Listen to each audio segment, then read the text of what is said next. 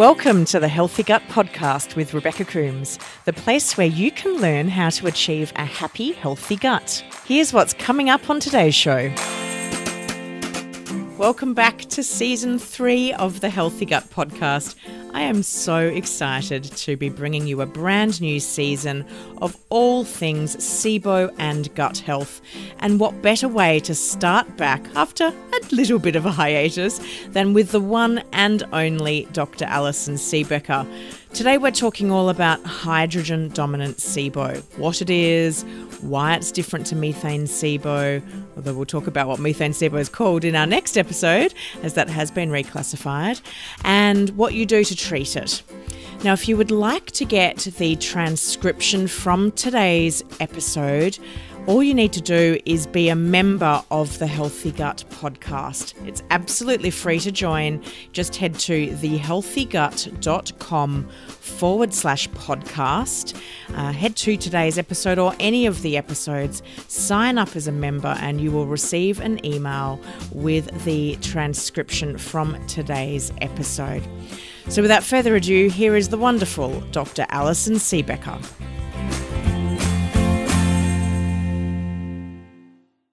Welcome to the Healthy Gut Podcast, Dr. Allison Siebecker. It's so wonderful to have you back on the show for season three. So thanks for coming back on.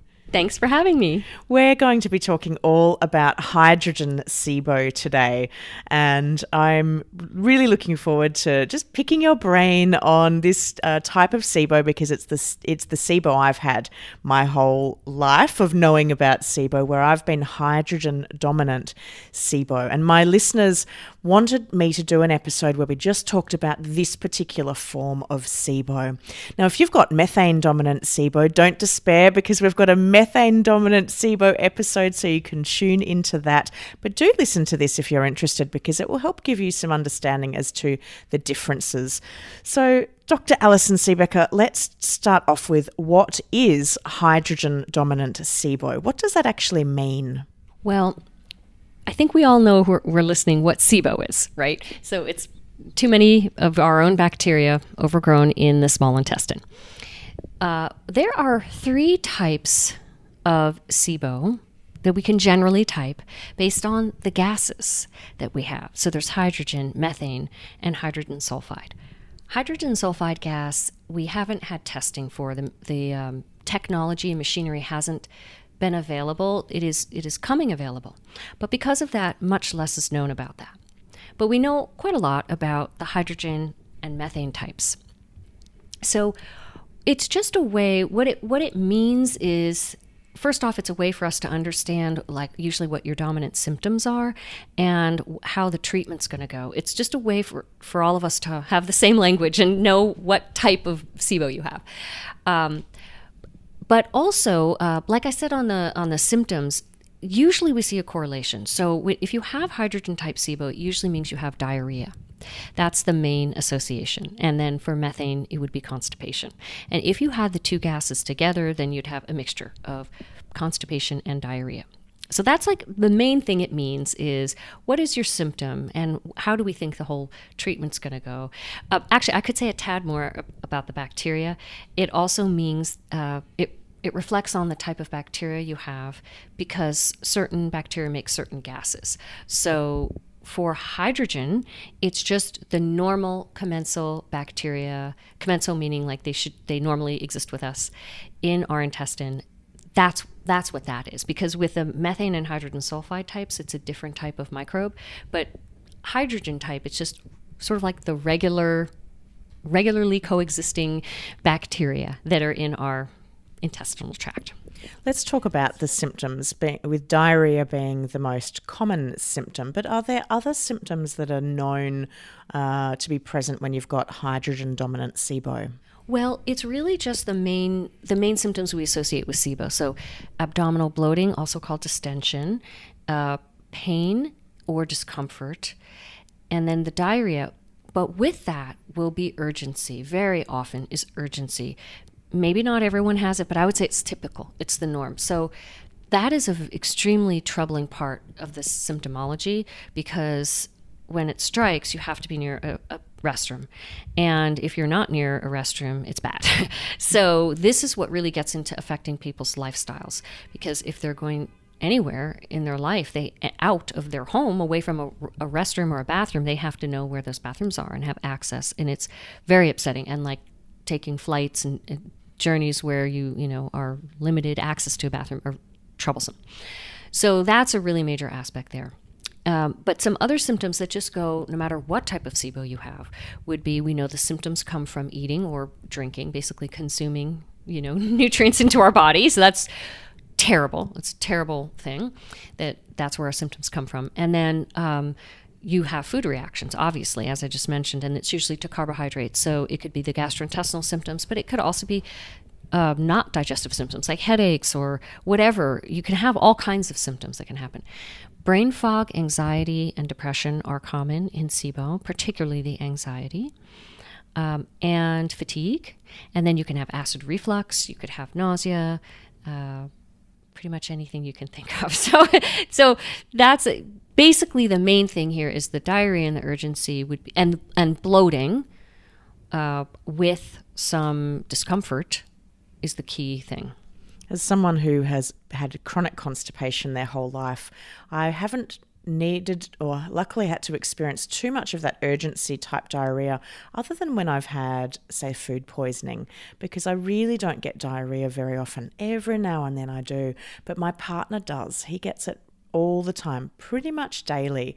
And, you know, I can almost count the seconds particularly when he eats foods that we know trigger him and uh, he doesn't stop eating them. And it's literally like one, two, three. Yep, off he goes. And he is, and he calls them his morning evacuations. Uh, and typical guy thing, he's just like, meh, whatever. Like, I'm not, it doesn't bother me enough for me to change anything about my life or my or to do another round of treatment. He did one round of treatment and decided that was enough, even though he didn't clear his SIBO or really fully rectify the situation. Uh, which you know I, I don't understand why he would do that, but that's his choice. Um, and it's you know it really is bothersome because he can get caught out if he's if we're out at a cafe or we've gone somewhere and he doesn't have a restroom nearby. It can be really stressful watching you know what how what he goes through where he's like we really need to get home right now, right now, right now. And if I'm driving, it's like be fast, please drive quickly.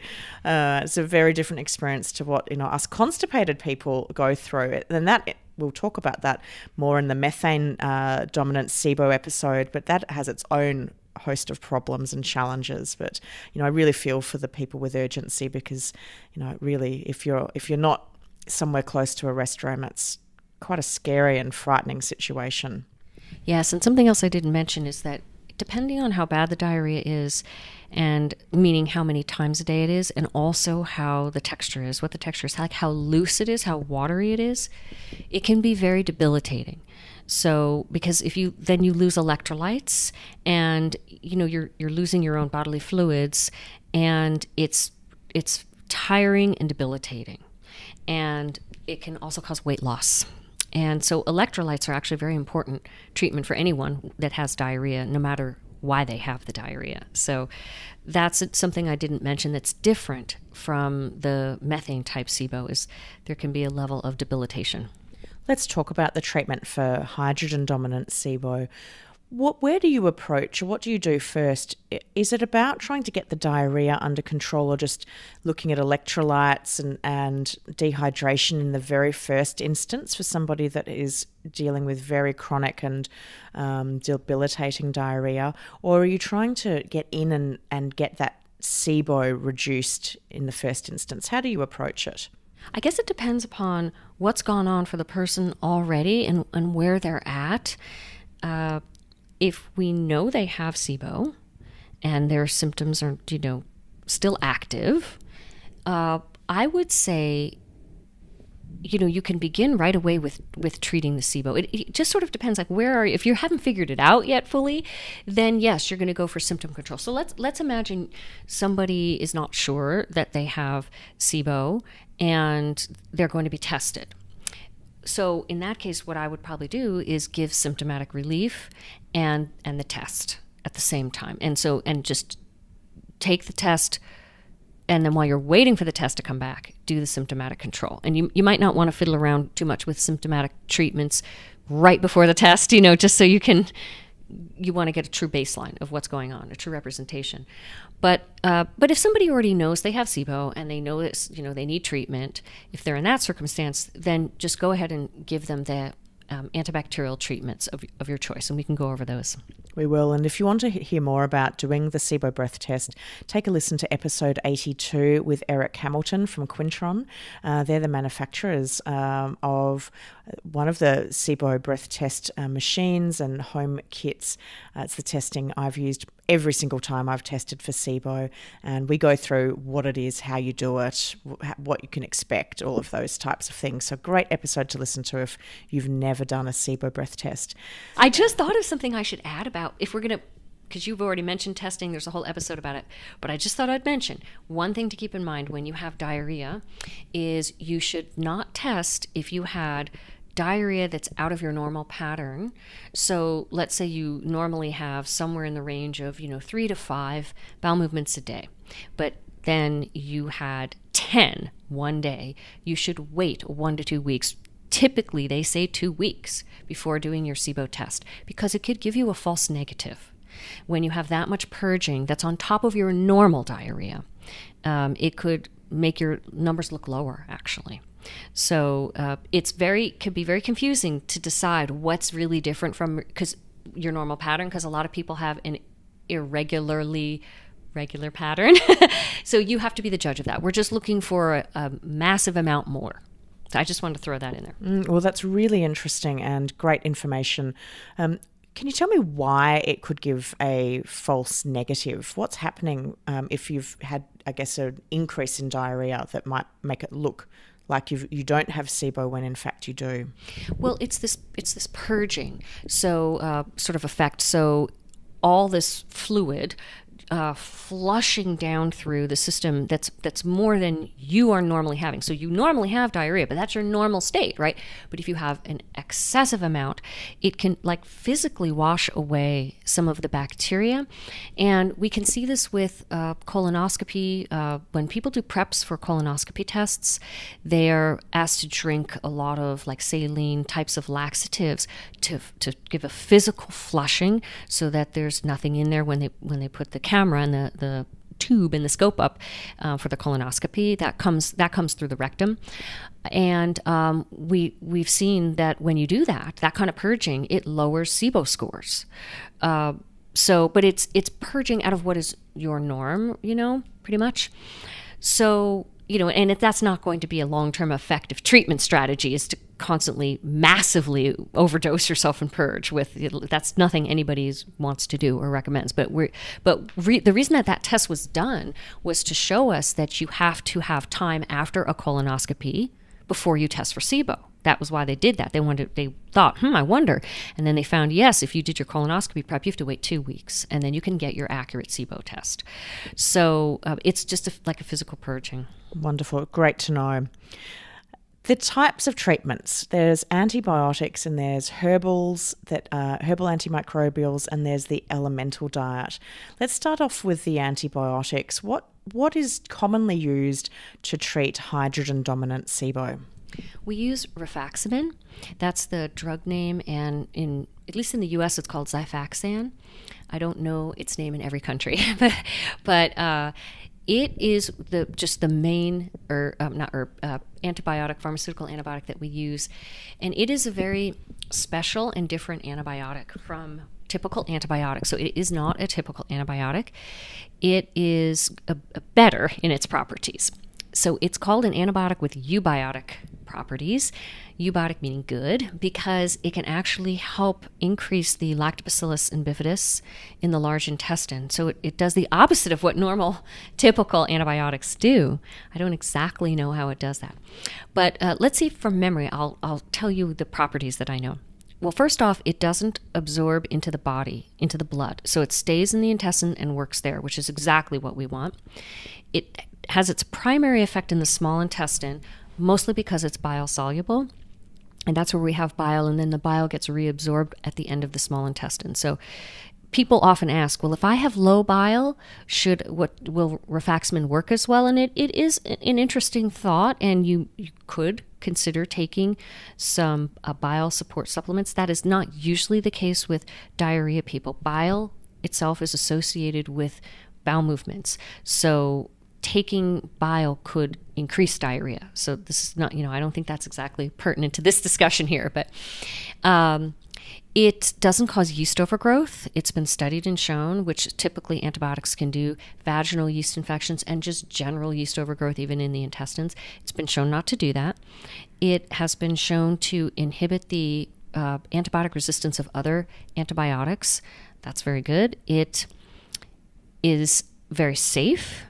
It has about the same side effect profile as the placebo in studies. I will say that I certainly have seen, seen people have reactions to it, uh, but I see people have reactions to absolutely everything. And I think SIBO patients have a lot of reactions to anything they put in their body, whether it's a supplement or food, right?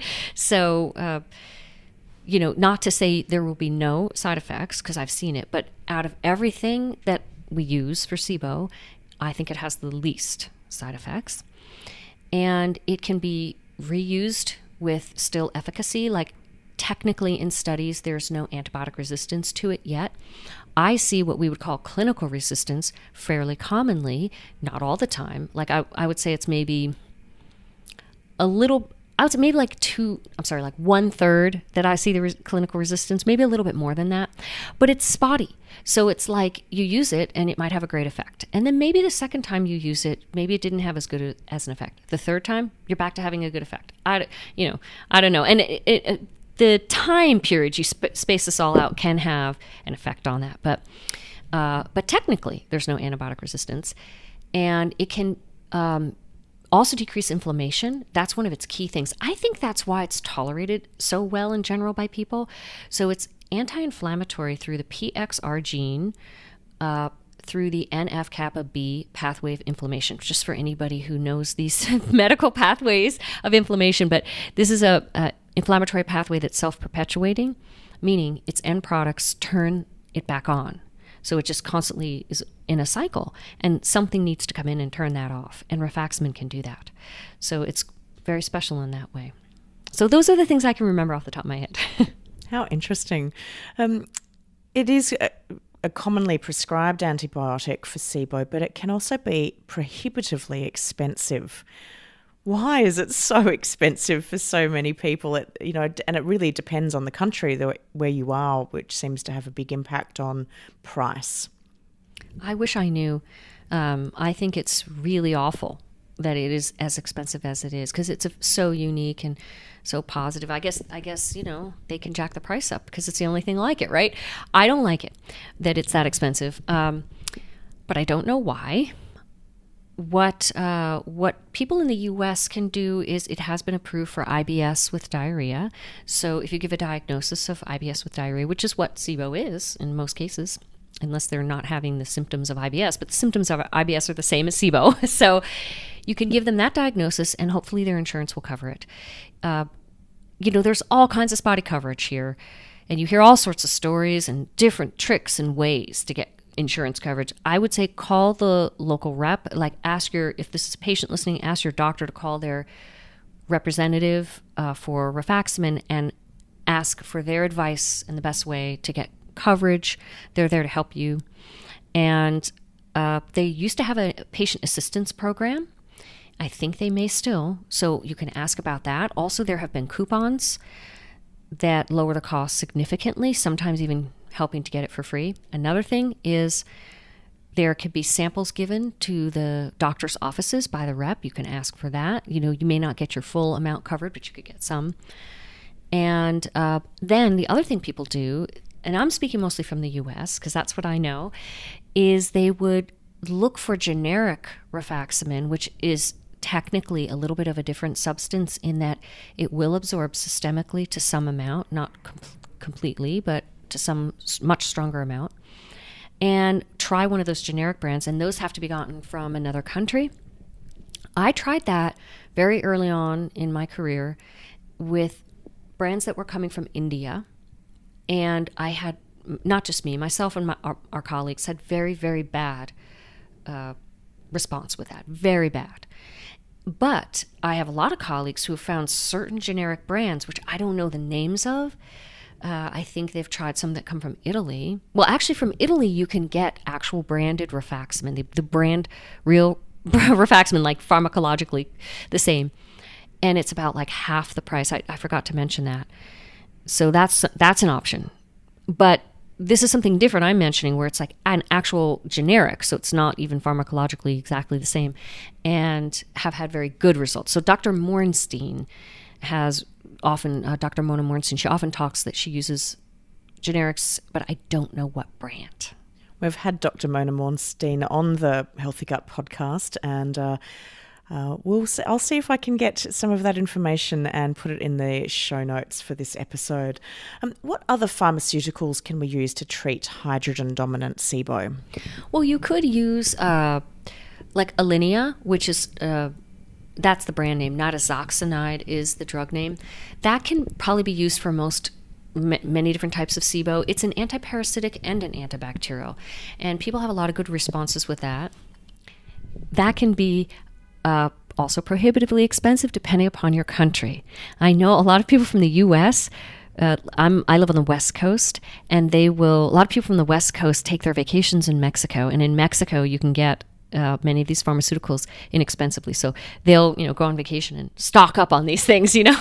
So, but you can use really many different anti, um, antibiotics, pharmaceutical antibiotics. It's just that. Sorry, stop myself there many have been used throughout um, the last like 20 years or so, and there's many published published studies on this, but the efficacy rates are so much lower, so much lower than rifaximin, which is why people work so hard at getting it and you know finding it to get covered, because you know who really wants to be on all these different multiple rounds of pharmaceutical antibiotics, especially all these ones that don't have these good properties that rifaximin has. Like, why would you use anything but rifaximin? The only reason really would be either you're allergic to it or the cost. And so, if you can find a way to make the cost reasonable, it is superior in efficacy and, and safety and properties. But you can use whatever else you want. So studies have been done on like Cipro and metronidazole used a lot. Again, much lower efficacy um, various of the um, aminoglycosides, like neomycin, which we use in the methane type, and doxycycline has been used a lot. So it would just sort of be any. I mean, people have used um, amoxicillin. You know, anything you would think of. Uh, any any antibiotic has been used. None of them compare in in the rates of effectiveness. Are there any antibiotics that we should categorically avoid if a doctor is prescribing for SIBO, perhaps the doctor doesn't know much about SIBO and they're prescribing. Uh, and I see a lot of fear in some of the online communities with people questioning the antibiotics they've been given. They've perhaps come to your website, siboinfo.com. You've got great resources there around what is commonly used for treatment, and it might not be listed. And they're freaking out because they're like, but why am I being told to follow this antibiotic when Dr. Allison Siebecker doesn't list it as um, a commonly used treatment option? This is an interesting question. So I feel bad about any any way in which I could be encour- you know encouraging people to be afraid. I think probably what's going on there is that the doctor so many doctors still don't even have the basic education on SIBO, and I don't fault them for that because you you know until you know something you don't know it, so they just don't know. Uh, what would be great is if they could be directed to read about it, like on you know my website. I actually originally wrote it for doctors, believe it or not. Uh, so or some articles. Then then they might learn, oh, the actual standard of care is rifaximin. So, I mean, you know, basically for the last 15 years, 10, 10 year, yeah, 10 to 15 years, pretty much almost no studies have been done on any antibiotic for SIBO other than rifaximin. It's it is the standard of care. So they just don't know. So that's I would assume why they're prescribing something else. The other reason would be cost, and they are trying to make sure they get something covered on the patient's insurance. So to your question, is there anything we should absolutely avoid? I I don't think so categorically, it's it's a matter of the best match for the patient. So there are some antibiotics that have very high rates of causing Clostridium difficile, antibiotic induced diarrhea. So that would be a legitimate concern, you know, if we put aside the efficacy issue here would be, you know, that would be something that a person has reasonable right to be afraid of. you know, and you know that oh gosh, this antibiotic causes C. diff in a lot of people. Could we choose something else? You know, I know uh, Cipro and some there are some other antibiotics often do, but you know, even saying that ciprofloxacin, uh, you see it given all the time for urinary tract infections, and most most everybody I see who's being given that does not get C. diff. So these, you know, you have to take these rates into perspective. Let's think about the herbal approach, and it's the route that I went originally. I was really scared of taking antibiotics, and there's this whole fear piece that uh, uh, you know really does occur for SIBO patients, where we just become so fearful of of lots of things because we've often been sick for such a long time, and we just don't want anything to make us worse. I decided that I wanted to do the herbal antimicrobials because I had never heard of rifaximin. I didn't know anything about it, and I just didn't want to do another round of antibiotics. And it was only when I learned about um, how useful rifaximin is that I lessened my stance and thought, well, if I choose to do antibiotics in the future, I will do rifaximin, but I won't do, you know, just more general antibiotic. I'll go for the one that is the best standard of care. What are the herbs that we can use in hydrogen dominant SIBO?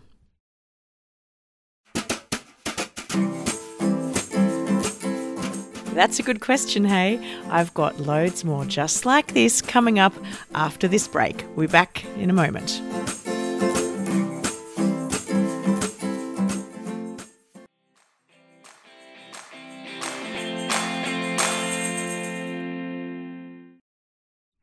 What are the herbs that we can use in hydrogen dominant SIBO?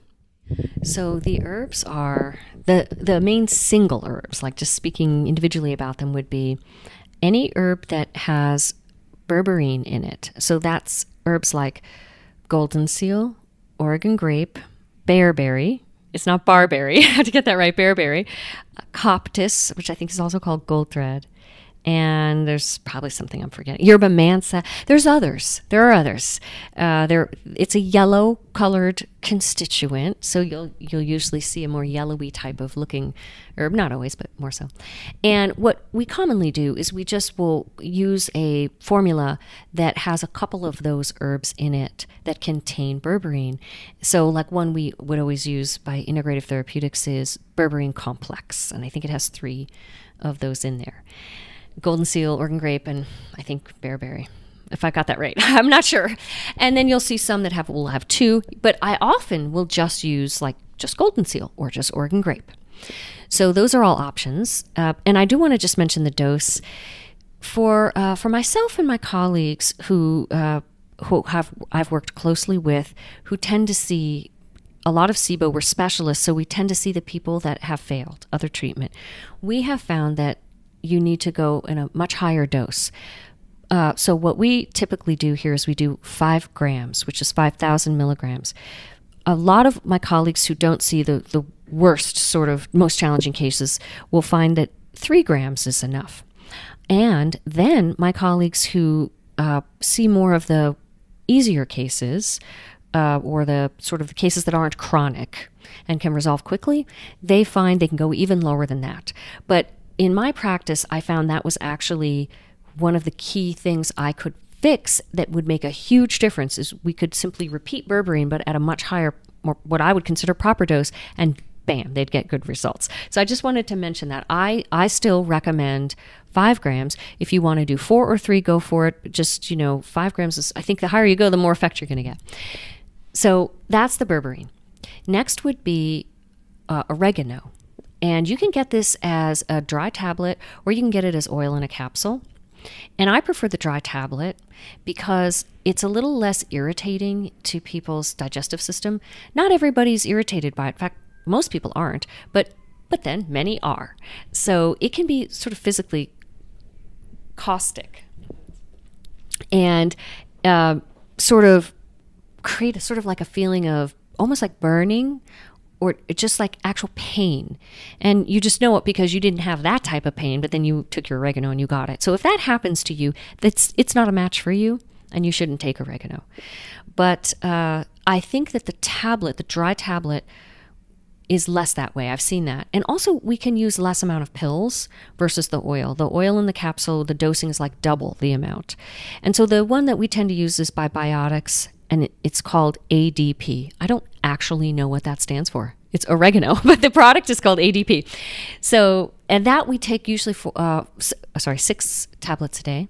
We used to do four but six works better. It always works better when you do more, but then it's more money, and you know you need to find that. It always you want to find the dose, the lowest dose you can for effectiveness. So that's oregano, and then we have neem, and neem is also very effective, and that's N E E M, and it's an Indian herb, and the one that we've tended to use comes in a formula with a little bit of triphala. Triphala is a three fruit blend that's an tr- traditional Ayurvedic formula that has a little bit of a prokinetic effect, meaning it can help stimulate the movement in the small intestine, which is okay for diarrhea patients, and it's what we want. Uh, but you don't have to do it with that. We just we have good results with that one. It's by Ayush and it's called Neem Plus, but you can just buy plain neem as well. But we're looking for neem leaf that's powdered in the capsules. Neem oil has some toxicity concerns and it's not safe for children, but that is that's a very different thing. We want the the the capsules that you would buy in the store. It's it's the leaf. It's not going to be oil. So those are our three main herbs that we tend to rely upon. Also, cinnamon can be used. I just don't use it that much because it's a hot, spicy herb and can bother people's lining of their stomach, similar to how oregano can. So uh, those are our three main ones. And what I typically do is use two together. You could just do one. But I find a, little bit better effect if I do two. But if I go to using all three, I do not get more benefit. I have not seen that. So I think two is the sweet spot. Now, that is the single herb approach. There are so many other herbal antibiotics and people have their favorites. And what a lot of doctors like to do is they'll they'll choose a formula where it has a whole bunch of herbal antibiotics and then it'll have herbal antifungals. Actually, all three of the herbal antibiotics I just mentioned are also antifungals, so they work against yeast as well. They're just better, I think, at at killing bacteria than yeast as compared to some of the traditional antifungal herbs, which are better at yeast versus bacteria. Um, so, anyway, these big formulas will have that, and then they'll usually have antiparasitics in them as well, which predominantly is black walnut and wormwood. And I, I myself don't favor that approach. And the reason why is there's nothing wrong with it at all. I have to say that straight up. It's because of the type of patient I see. And so I'm seeing people that have failed a lot of treatment and they're very sensitive. And I don't want to give them, you know, a, a formula with more than about two or three things because then if they're reacting negatively, it's so easy then for me to just, well, I'll just eliminate one of the two items and let me see how you do. and um, on that note, I have had trouble with if I use the berberine complex formula and it has those three berberine herbs, I've had trouble with that at, at, times where someone's reacting to it and I don't know which of the three herbs. And so I have experimented with my patients and in at least one case I'm thinking of, it was gold seal. And that and Golden Seal gave this one particular patient diarrhea, but none of the other berberine herbs did. If she truly just had a trouble with that particular herb. So uh, for that reason, I like to simplify. And the other reason is because I like to, I, I see so much clinical resistance. I, for for lack of a better word, we'll call it antibiotic resistance, herbal antibiotic resistance, but it's clinical resistance. And so I I can wear out the effect of herbs. And so I don't want to give a bunch of things all at once because then I've given everything. And usually the people I see need more than one round of treatment. So what am I going to use now? So it's just logistical, is the reason why I prefer it. But do- particularly doctors, when they're first seeing patients and they don't know, are they going to be sensitive? Are they going to be chronic? They don't know. So they start out with this big complex formula and it often goes very well. It's very well. Uh, tolerated and um, effective in most practitioners' offices. So, what would these formulas be? Oh my God, there's just every company has one. Every company has like an, you know, antibacterial esque, antimicrobial formula. And I, I don't even know if I should could mention them. There's just so many. It- you just use your favorite, you know. But I do want to point out that sometimes the berberine dosing in there is not high enough, and you might not get effect just using it as on the label, and you might be better to just add a little berberine in with it. If you're having trouble, you could think of that. And the other thing is that many of these will have garlic that is whole or uh, garlic oil in these combination formulas, and garlic is a, a high fermentable item. It has a lot of FOS and it can really aggravate people. So that's one thing you'd want to watch out for. I, I've seen it time and time again. And, and it it's probably more of a factor in small formulas, meaning, you know, five or less herbs are in it, and garlic's one of them, because then you know the proportion is likely higher, and then it's aggravating. And look, some people can tolerate garlic in pills, uh, and it's usually what I call the, the one third. They're the one third that are not chronic. We know about one third of cases are not chronic, and they resolve fairly easily. Two thirds are chronic.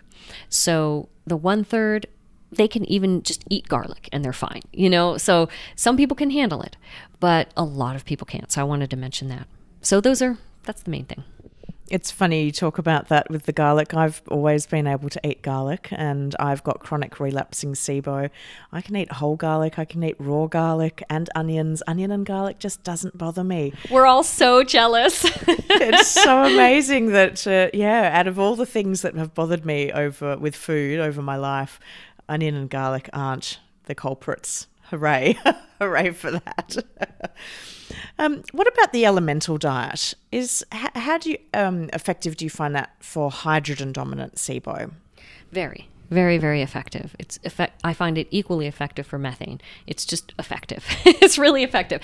Now, something I should say is that amongst those three treatments, pharmaceutical, herbal, antibiotics, both of those, and then elemental diet, often we will. By the way, we're recording in a city, so you might hear some sirens coming by. um, often we will find. It's okay to keep talking. I, I just had to check because it's so noisy. I know we've got we're right in downtown Seattle here for SIBOCon 2019, and yeah, all the sirens are going past Sorry. at the moment. Sorry, listeners. okay, so uh, out of those three, in in a more challenging circumstance, you know, not somebody who, bam, they just take one treatment and they're done. Um, often, two of those methods really aren't a match and just don't work well for somebody. It could it could be that a person reacts poorly, like they have side effects, but really even more so, what I'm meaning is actual effectiveness of removing symptoms and lowering the lowering the test and making the test go negative. So this is just so common. So you know, like you try pharmaceutical antibiotics and meh, you know, you try herbals, meh, you go elemental diet, fabulous. But then it could be the opposite. You try elemental diet first because you know it's like the most effective and it can reduce really high gas and one, two week course. And so you do it and it just didn't suit and you didn't really get a response. Like maybe you didn't lower at all. And then you go try herbs and bam, it's done. And I, the only thing I know how to explain that is just, you know, each each method has its own mechanisms of the ways it acts, and it's just suits maybe that person's composition of bacteria versus the next person. So yes, elemental diet is incredibly effective for hydrogen SIBO. Let's talk about when your symptoms aren't typical. We know traditionally hydrogen dominant SIBO equals diarrhea. But I've had hydrogen dominant SIBO my whole life. Well, as long as I I think I've had SIBO my whole life. But as long as I've known about SIBO and every time I've tested, I've always been hydrogen dominant. And only on my last breath test after after the elemental diet did any methane show at all.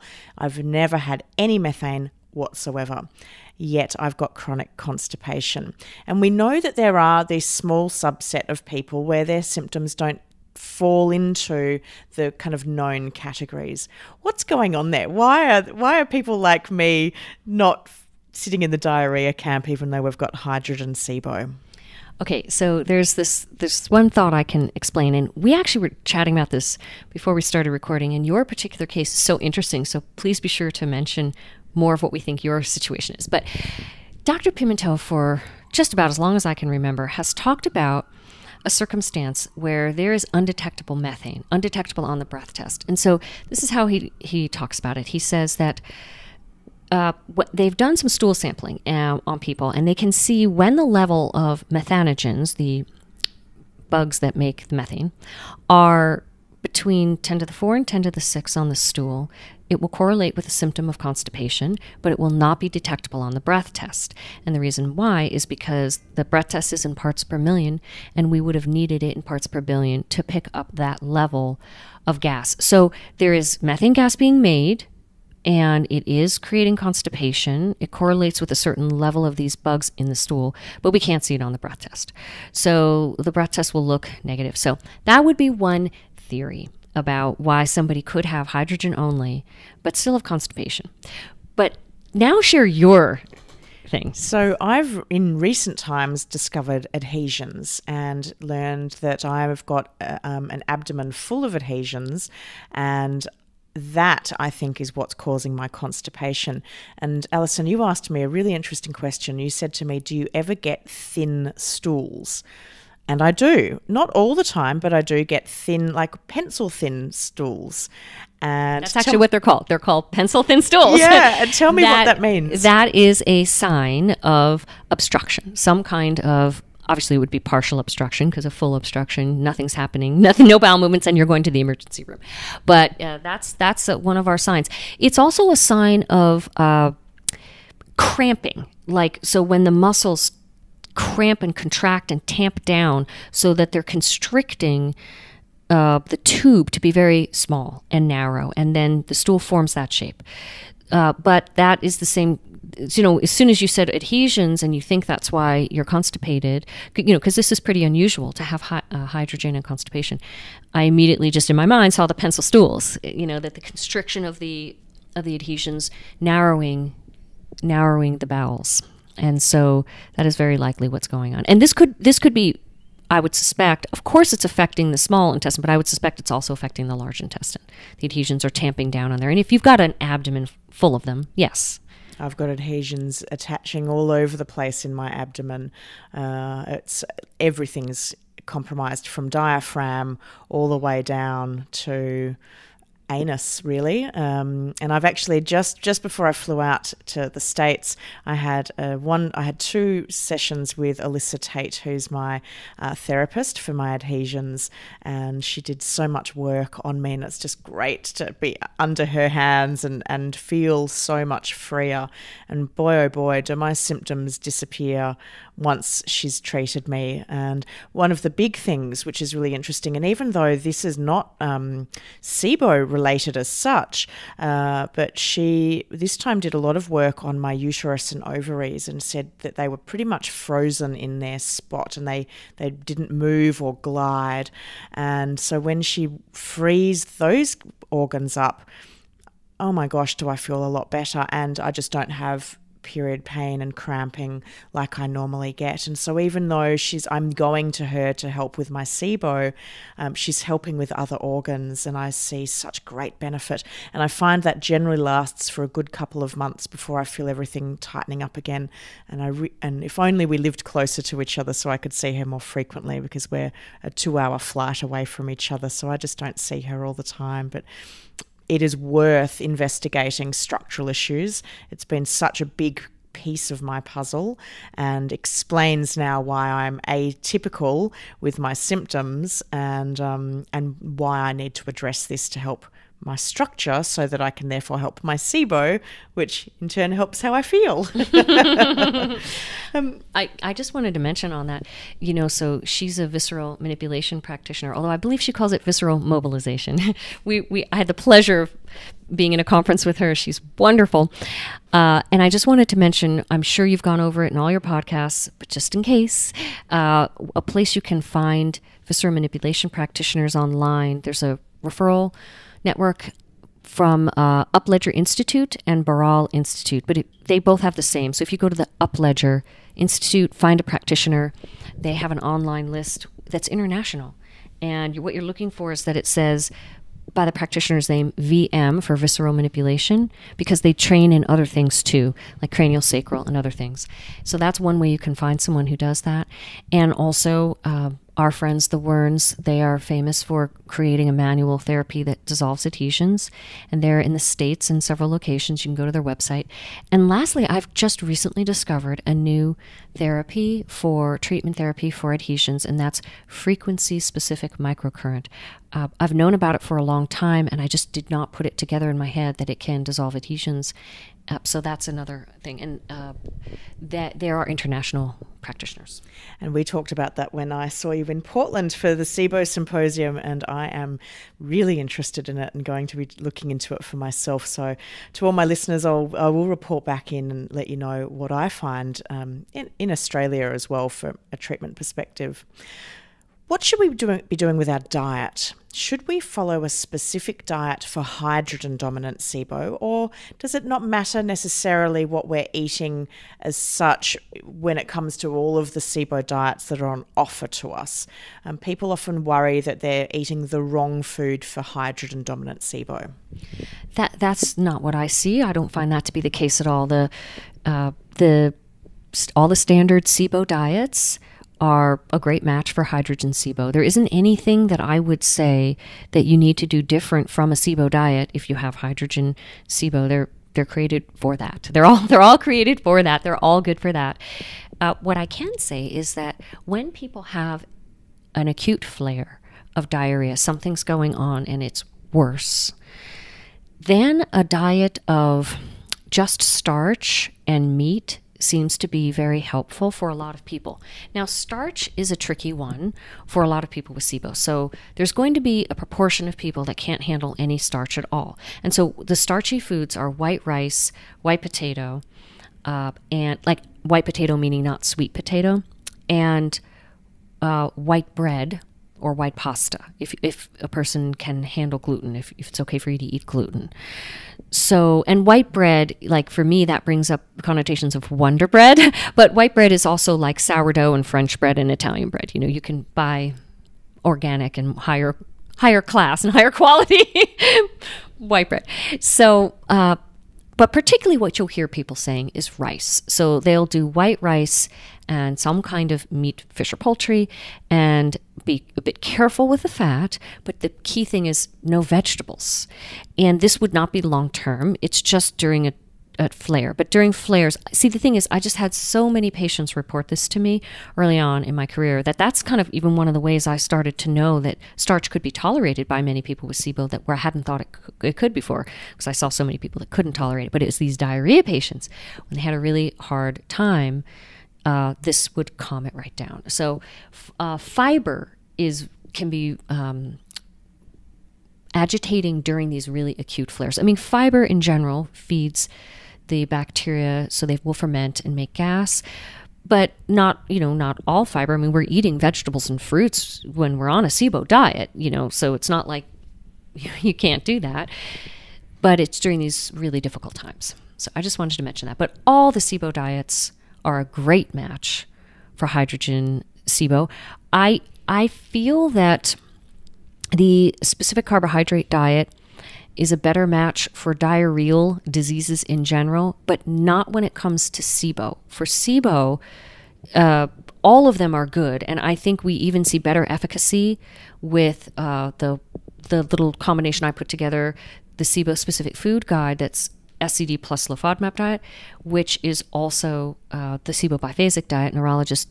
took those foods, put them into phases, and then what all your cookbooks are based on is my and Nirala's. It's the same so that is where we get the most efficacy. And the reason why is because it's the most restrictive, which is also may not make it the best. You know, so it's efficacious but restricted.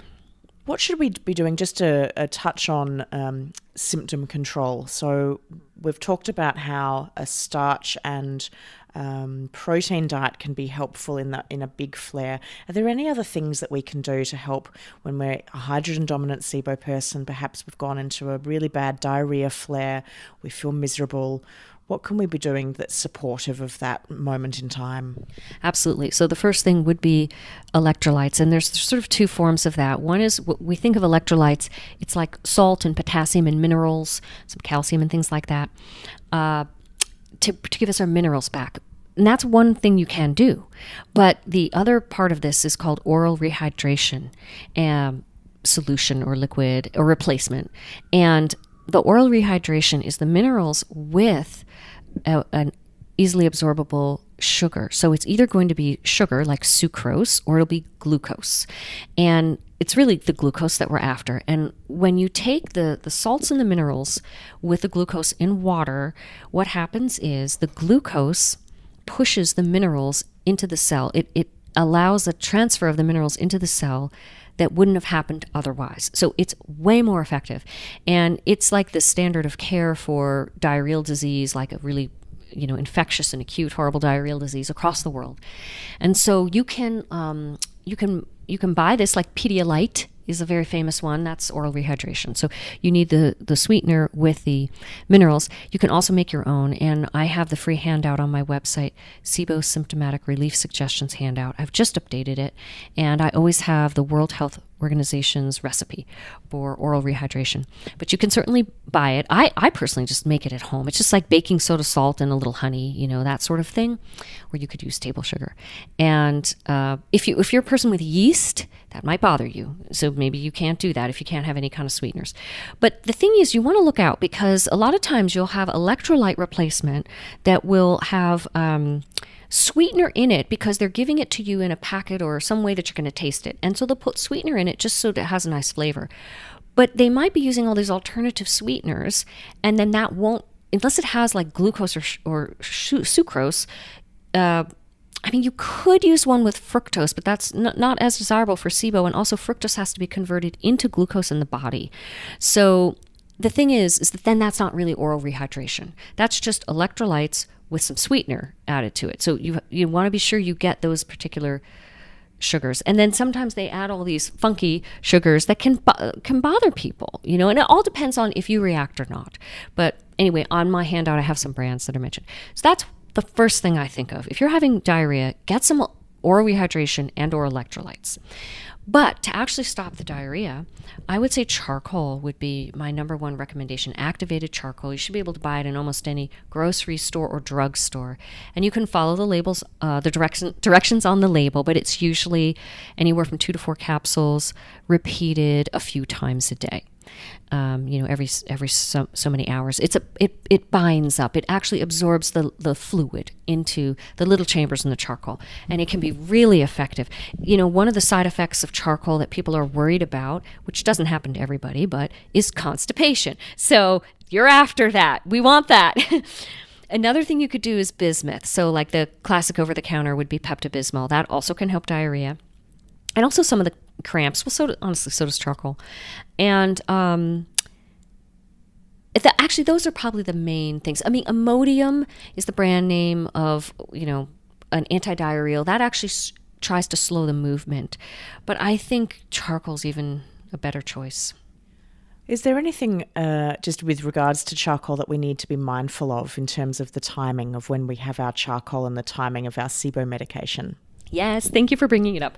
It is that it absorbs, actually, it adsorbs, it's the medically technically correct, uh, everything. So if you take it at the same time of medications, it it will make it so you will not absorb them into your body to some degree. We don't know exactly how much gets in, but you, you don't want to do that. You want to space that away from it. So I'd say you could take your medicines or supplements 30 minutes before taking your charcoal or if you've taken your charcoal, I would wait probably an hour after, maybe longer. But that's the safest window. I mean, uh, that's I'm seeing that's the shortest window: 30 minutes before, an hour after. For thyroid medicine, I think you should give longer between the two. Usually, you have to take thyroid medicine when you first wake up.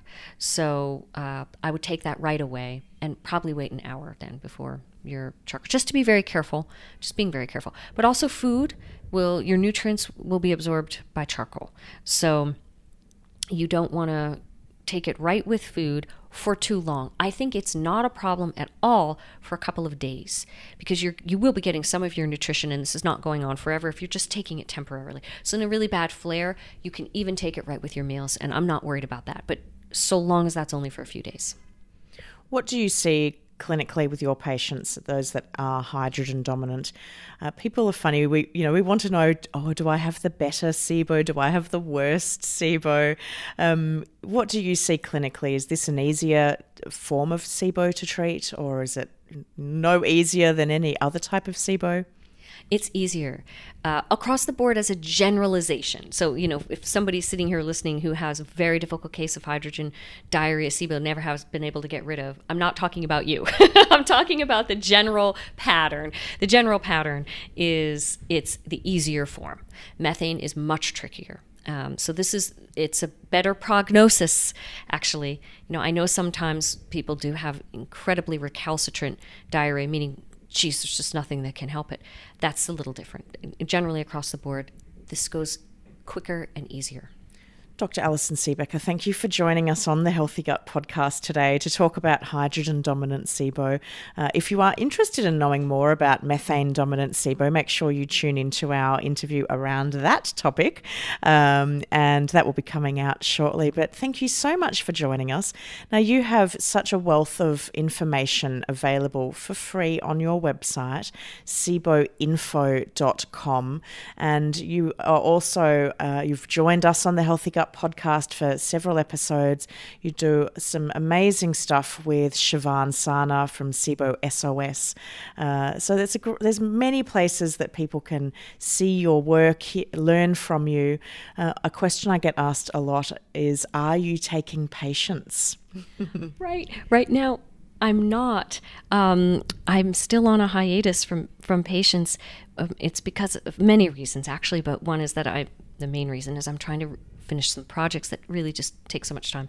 So the, I've been writing a book for many years, and that I you know, I feel worried to even say, but I think I think I'm about a year out, and we're, we're so I'm shooting for 2019. Um, wait, no, it's 2019 now. 2020, 2020 spring. We'll see. I mean, I'm, it's moving forward. And then the other thing is, uh, um, I've been working on a professional training course for practitioners, and I've been working on it a year. So uh, it should be out. You know, I'm in the middle of recording it, so I don't know exactly when it'll be out. That'll logistically, whatever. But so I am sorry to say that I am not seeing patients at this time, but I really look forward to seeing patients again. I really look forward to getting back to it. And in the meantime, I do have a couple of co- covering doctors that you can see if you go to my website um, that are kindly sort of helping my my people in the meantime. And there's lots of other wonderful practitioners, uh, and hopefully if you need help, Rebecca can help you. And my I have a referral sort of area on my site showing you how you can find a doctor. But anyway, for anyone who's possibly interested in seeing me, I look forward to seeing you as a patient when I come back. well, thanks for all the work you do. You've you know you really have been a shining light for us SIBOers out there, and you've done so much work and shared so much knowledge and information with the community. And you know we are all so grateful. So thank you for sharing your wisdom once again Thank you on the Healthy Gut podcast. You are welcome.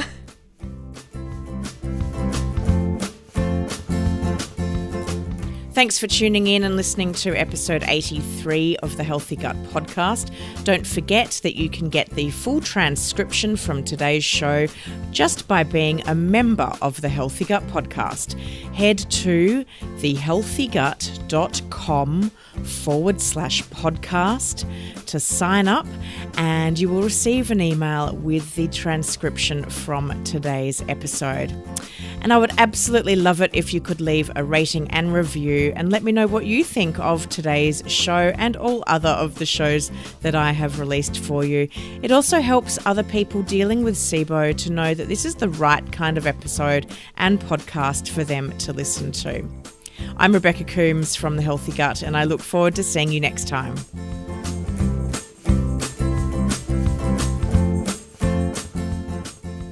You've been listening to the Healthy Gut podcast with your host, Rebecca Coomes.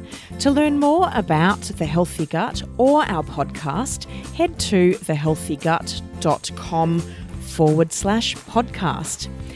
We would like to thank Red Lemon Productions for the production and original music score of this podcast. To find out more about their services, head to redlemonproductions.com. The Healthy Gut podcast is a production of The Healthy Gut. Thanks for listening.